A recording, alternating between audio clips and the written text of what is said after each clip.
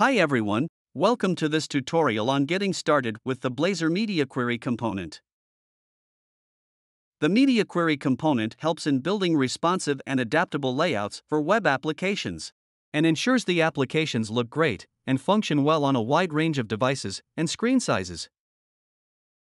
In this video, I will show you how to create a Blazor WebAssembly application and add the Blazor Media Query component to it. I will also design a layout and show you how the Media Query component works in it to make it responsive and adaptable.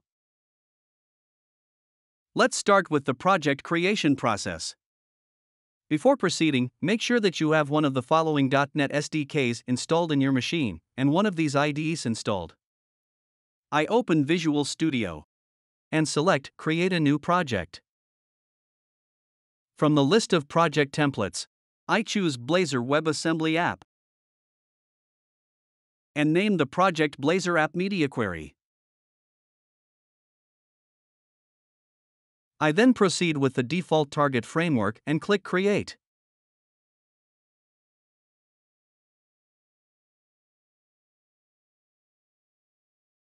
The project has been created and is ready to use.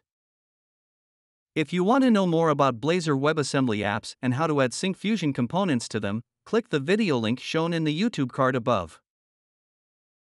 To add the Syncfusion Blazor Media Query component in my application, I need to install the Syncfusion Blazor Core package. So, I open the NuGet Package Manager. In the Browse tab, I search for Syncfusion Blazor Core.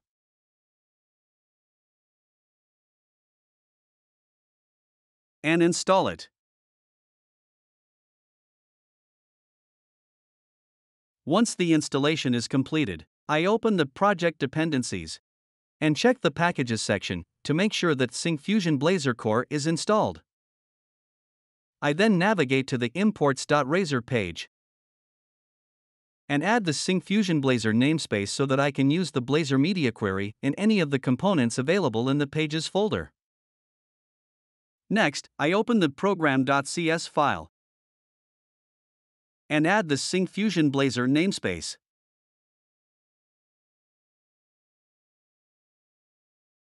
I register Syncfusion Blazor services by calling the add Syncfusion Blazor method. Then, I register a license key in my application using the register license method.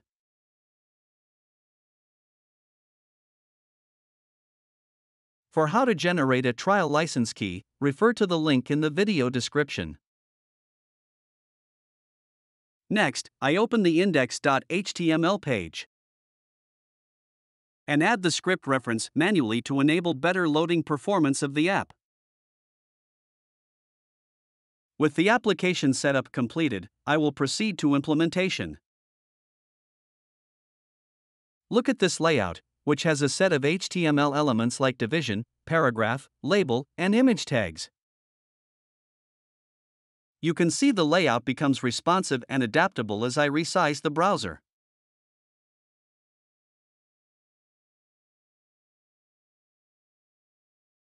I am going to design this layout and use the Syncfusion Blazor Media Query component to make it responsive and adaptable. Let's start by opening the index.razor page and removing the existing content. Then, I add a division element that will act as a container and make an outline to this layout. To add this banner content, I add a division element with a label Best Places to Visit in the United States. Then, to display a few lines about New York City, I define another division element and add the proper content to it. Next, I want to display these images along with these captions. To do that, I create a string array, named places, and define the list of captions to be displayed under the images on the layout. Also, these names act as image names as well, which are located inside the images folder of this project. Next, I add a division element and add the images and captions using a for loop. Okay, the layout is now done. To display this layout organized and aligned, I need to add the required CSS styles. So, I add the class attributes to the HTML elements with appropriate class names. Within the style tag, I define all these CSS classes and add the styles display, position, margin, and border. You can refer to these code snippets from the example that is shared in the description part of this video. Now, I will save the changes and run the application to see how the layout looks.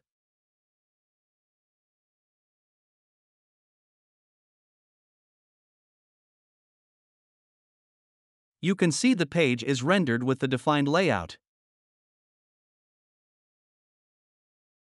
Next, let's add the Blazor Media Query component to the application by defining the SF Media Query tag. The Blazor Media Query component supports three predefined media breakpoints small, medium, and large. To demonstrate how the media query component works in these breakpoints, I create a string variable, active breakpoint.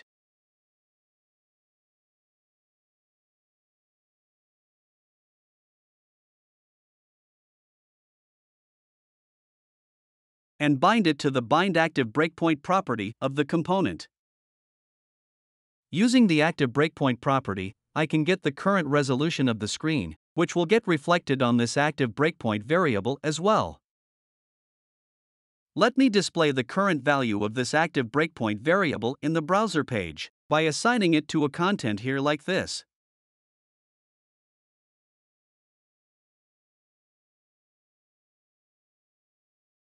You can see the default breakpoint, large, is displayed here. When I resize the browser, the current resolution is obtained in the active breakpoint variable and is updated here.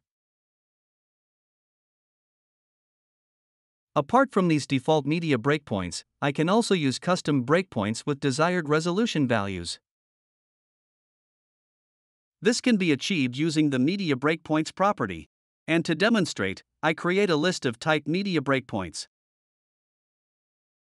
with the name media query.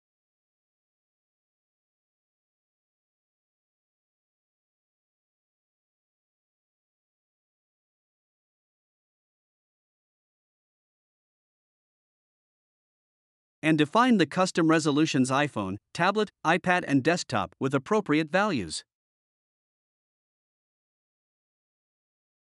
Then, I assign this list variable media query to the media breakpoints property of the component.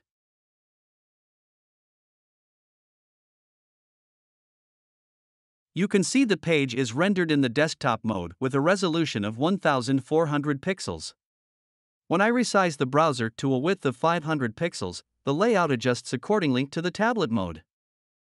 Next, I will show you how to make this demo layout responsive and adaptive using these custom breakpoint values.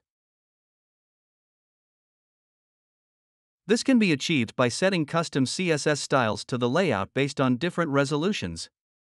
Before setting the custom CSS styles, first let me create a custom name device size. By making use of the active breakpoint value,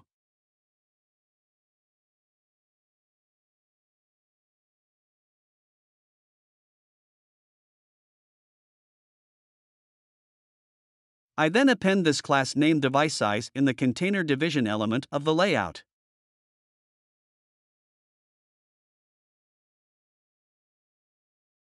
Within the style tag, I will write styles for all the custom classes based on the resolution. You can get these code snippets from the example that is shared in the description below. You can see the layout becomes responsive, adaptive, and fits into different resolutions.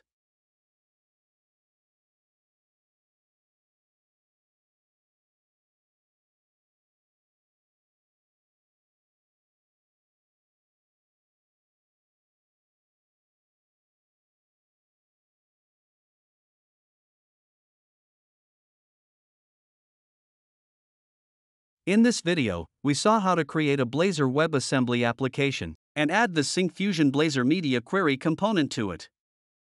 We saw how to make a responsive and adaptable layout using the Blazor Media Query component. If you would like to see the working example from this video, you can download it from the GitHub link in the description below. I have also provided a link where you can see if you qualify for a free license key to use our Blazor products through our community license. If you found this video useful, do like the video and subscribe to our channel. Thanks for watching.